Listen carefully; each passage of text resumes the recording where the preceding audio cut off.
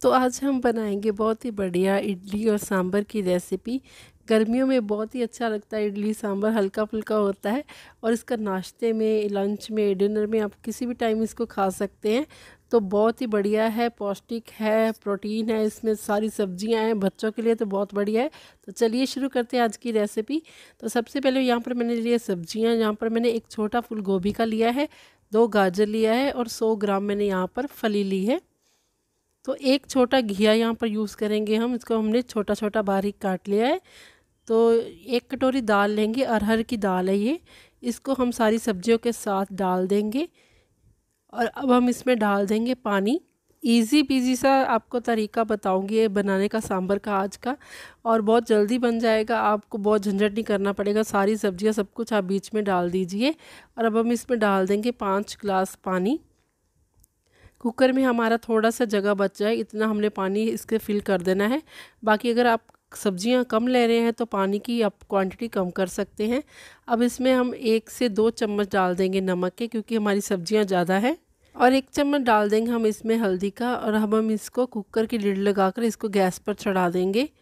और एक विसल आने के बाद हम गैस की फ्लेम को लो पर करके 15 से 20 मिनट तक रखेंगे। और साथ में हम अपनी कर लेंगे इमली को अगर आपके पास टाइम ज़्यादा हो तो इसको आप आधा घंटा पहले भिगो कर रख दें इमली को। अगर कम हो टाइम तो इसमें गर्म पानी डालकर इसको पाँच से दस मिनट के लिए रखें। तो, इमली को हम अच्छे से एक स्पून की मदद से मैश कर देंगे ताकि ये अच्छे से सोख हो जाए और इसका पल्प अच्छे से अलग हो पाए। तो साथ में हम अपनी सूजी को भिगो कर रख देंगे। यहाँ पर मैंने 300 ग्राम सूजी ली है मोटी वाली सूजी लेनी है हमने। तो इसमें मैं डाल रही हूँ थोड़ा सा कड़ी पत्ता। और आप अगर चाहें इसको ड्राई रोस्ट भी कर सकते हैं सूजी को और इसमें थोड़ी सी दाल भी डाल सकते हैं चने की। लेकिन मैं ऐसे बनाना प्रेफर करती हूँ तो इसमें हम टू स्मॉल टेबल स्पून डालेंगे नमक के। यहाँ पर मैंने दो छोटे चम्मच यूज़ कर रही हूँ नमक के। आधा कटोरी यहाँ पर मैं यूज़ कर रही हूँ दही का। तो आप क्वांटिटी देख सकते हैं, आधा कटोरी दही है 300 ग्राम सूजी है और आप पहले हम इसको अच्छे से मिक्स कर लेंगे दही के साथ सूजी को, ताकि अच्छे से इसमें मिक्स हो जाए। तो ये प्रोसेस आप देख सकते हैं, बिल्कुल अच्छे से मिक्स करेंगे ताकि खट्टा सारे ही सूजी में लग जाए अच्छे से। और अब हम इसमें एक से डेढ़ कटोरी पानी की डाल देंगे। सूजी काफ़ी पानी सोख कर लेती है, इसलिए हमने पहले ही पानी को डालकर रखना है ताकि अच्छे से सूजी हमारी भीग जाए। तो अच्छे से हम इसको चलाते जाएँगे। अब इसकी क्वांटिटी देख सकते हैं।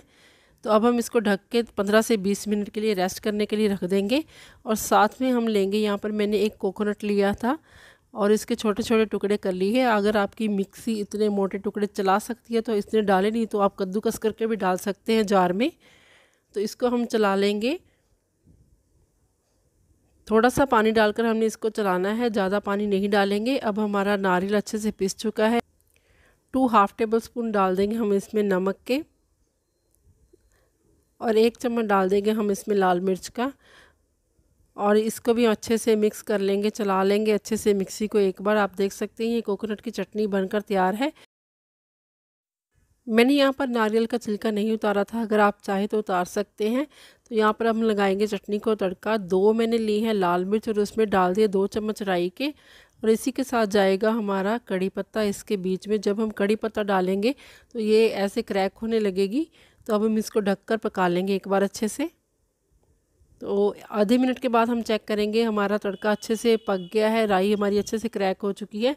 अब हम ये छोंक को लगा देंगे नारियल की चटनी में और इसको साथ ही हम बंद कर कर रख देंगे ताकि इसका पूरा स्वाद जो है चटनी में आ जाए। तो इधर हमारा इमली का पानी ठंडा हो चुका है, इसका भी हम पल्प अलग कर लेंगे। तो इसके बाद हम जाएँगे अपने नेक्स्ट प्रोसेस में। यहाँ पर हम इडली के स्टैंड में डालेंगे पानी। तो इसके ऊपर ये लिड लगा देंगे, पहले छोटी वाली लगाएँगे और उसके ऊपर दूसरी लिड लगाकर इनको अच्छे से ग्रीस कर लेंगे हम। किसी भी ऑयल की मदद से आप इसको ग्रीस कर सकते हैं। कोई भी वेजिटेबल ऑयल लगाकर इसको हम अच्छे से ग्रीस करेंगे। के पास स्टील का स्टैंड हो तो आप उसमें बना सकते हैं। तो अब हम चेक करेंगे सूजी को। तो ये देखिए, काफ़ी पानी सोख कर लिया है सूजी ने। और अब ये देख सकते हैं, लेकिन ये बैटर बहुत अच्छा बन चुका है अभी। आप इसके देख सकते हैं, रेशे बन रहे हैं, यहाँ पर थोड़ा थोड़ा मोटा दिख रहा है आपको। तो ये देखिए, बहुत बढ़िया हमारी सूजी मिक्स हुई है और बहुत ही अच्छी जाली बन रही है इसमें सूजी में। तो जितनी सूजी में हमने फ्रूट सॉल्ट डालना है या बेकिंग पाउडर डालना है, उसी में डालेंगे, बाकी की सूजी को हम अलग से निकाल लेंगे। यहाँ पर मैं इनो का लेमन फ्लेवर यूज़ कर रही हूँ, आप चाहे तो इसमें बेकिंग सोडा, बेकिंग पाउडर भी डाल सकते हैं। तो इतने बैटर में मैं हाफ़ इनो का पैकेट यूज़ कर रही हूँ इस पर डाल देंगे हम थोड़ा सा पानी ताकि हमारी जो इनो है जल्दी से रिएक्ट करे। तो इसको पहले हम अच्छे से मिक्स कर लेंगे। इसको साथ में ही हमने डाल देना है। ज़्यादा टाइम इसको हम भिगो कर नहीं रख सकते। तो अब हम एक एक चम्मच भरकर इडली के स्टैंड में डालेंगे। थोड़ा सा हम इसको छोड़ देंगे ताकि जब हमारी इडली फूले, वो ऊपर आ सके, उसको पूरी स्पेस मिल सके। तो दूसरे स्टैंड में भी हम चारों खानों को ऐसे फिल कर लेंगे और ये प्रोसेस आपको थोड़ा जल्दी करना होगा ताकि इनो हमारी जब रिएक्ट करे तो इडली हमारी तब तक माइक्रो में चली जाए। तो चलिए इसको ढक्कन लगाकर हम चार मिनट के लिए माइक्रो में रख देते हैं। तो इधर हम देखेंगे सांभर हमारा सब्ज़ियाँ अच्छे से पक चुकी हैं।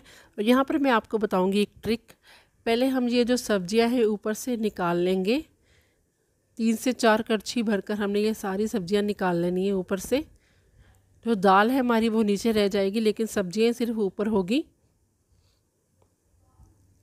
तो ये सब्जियों को हम निकाल कर साइड में रख देंगे और ये बाकी जो सांभर बचा है हम इसमें ब्लेंडर मार देंगे। तो अगर आपके पास ब्लेंडर ना हो तो आप इसको मधानी की मदद से भी कर सकते हैं। तो बेसिकली हमने इसको गाढ़ा करना है सांभर को।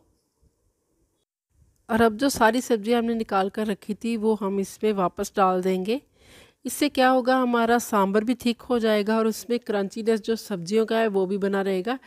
और देखिए, इसमें क्रंची क्रंची सब्ज़ियाँ भी आएँगी और पतला और हमारा सांभर नहीं होगा तो ग्रेवी भी इसकी पूरी थिक हो जाएगी।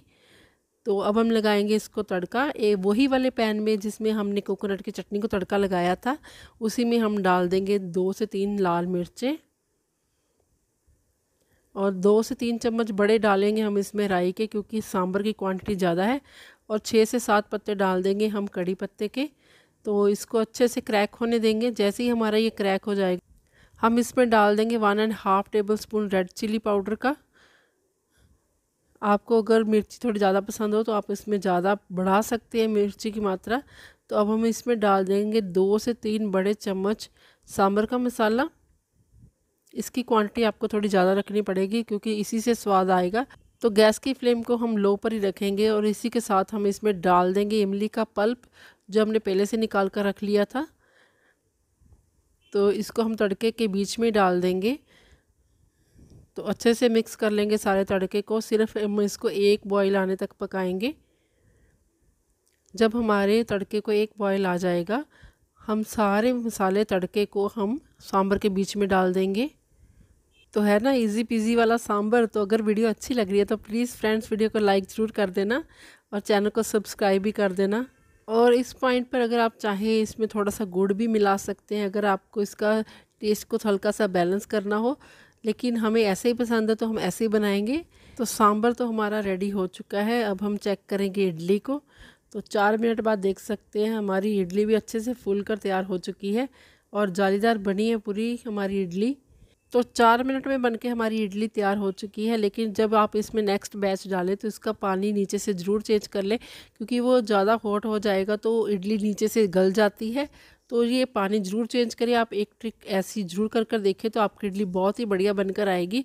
तो एवरी टाइम जितने बैच आपने बनाने हैं, उतनी बार आप पानी चेंज करें। तो तो ये देखिए कितनी सॉफ्ट बिल्कुल रुई जैसी बनी है हमारी इडली और पूरी जालीदार है इडली। तो चलिए अब हम करते हैं इसको सर्व सबसे पहले डालेंगे हम सांभर को। तो फ्रेंड्स अगर आपको वीडियो हमारी अच्छी लगी तो प्लीज़ वीडियो को अपने फ्रेंड फैमिली मेंबर के साथ ज़रूर शेयर करना और लाइक करना हमारी वीडियो को।